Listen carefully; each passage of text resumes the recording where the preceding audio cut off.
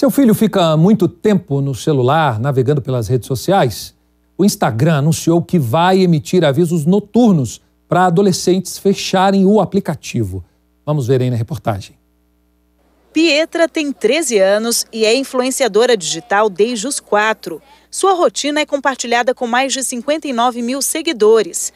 A adolescente passa cerca de 5 horas na internet por dia tudo sob supervisão da mãe. Eu tenho acesso a todas as redes da minha filha, então para ela entrar no Instagram dela, em qualquer rede social, pelo celular dela, eu tenho uma notificação no meu celular.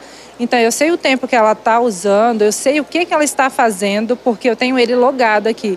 Então se ela conversar com alguém, se ela receber mensagem de alguém que ela não conhece, eu tenho acesso de tudo aqui. Pietra utiliza as redes durante o dia e também à noite eu uso meu celular para dar boa noite para os meus seguidores e aí depois eu fico mexendo um pouco, fico vendo televisão, mas às vezes quando eu não tô pegando no sono, eu coloco algum vídeo para assistir e durmo. Aí às vezes o celular me atrapalha, me dá uma dor de cabeça, eu não consigo dormir, tenho que tomar remédio. E às vezes nenhum dos dois. Meu pai logo fala: "Deixa o celular na sala, vai dormir". Ela tem que dormir até 10 horas. Nas férias está um pouquinho liberado, bem relaxado, não vou mentir. Mas no, no ano letivo mesmo, de segunda a sexta, 10 horas, ela já está na cama. Ao entrar no mundo digital, a gente passa horas navegando e nem percebe, né?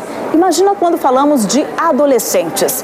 Para tentar diminuir o uso das telas, pelo menos durante a noite, o Instagram começou a emitir um alerta para jovens entre 13 e 17 anos. A cada 10 minutos, assistindo a um vídeo do Reels ou trocando mensagem por direct, um aviso aparece na tela do celular. A mensagem do aplicativo funciona apenas como sugestão. Se quiser, o jovem pode ignorar e continuar usando a rede social. A utilização excessiva da internet pelos adolescentes preocupa especialistas, já que o cérebro, nesta fase, ainda está em desenvolvimento. O uso excessivo ele acaba criando uma coisa, principalmente à noite, de via tela azul e aquilo que a gente já conhece, de diminuir a produção de melatonina, que é o hormônio do sono. Então, a, o jovem que já tem um sono diferente do, do sono dos adultos, ele fica mais suscetível a ter diminuição da produção de melatonina, diminuição do sono, alteração dos horários para dormir e acordar.